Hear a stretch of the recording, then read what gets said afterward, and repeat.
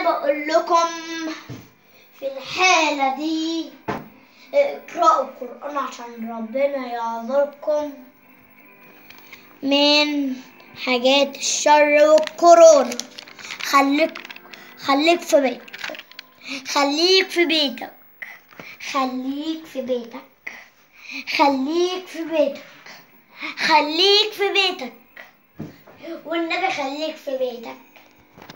خليك في بيتك. خليك في بيتك. كورونا كورونا. خليك في بيتك. كورونا كورونا. خليك في بيتك. كورونا. خليك في بيتك كورونا. كورونا ومشاوير. الساعة سبعة. ما تنزلوش. الكورونا.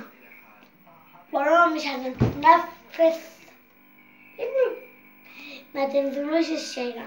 خافوا على ولادكم وحموهم من الشر. اقروا قرآن عشان ربنا يعذركم. يا رب يا رب يا رب. باي مع السلامة. أبقى أشوفكم في خير.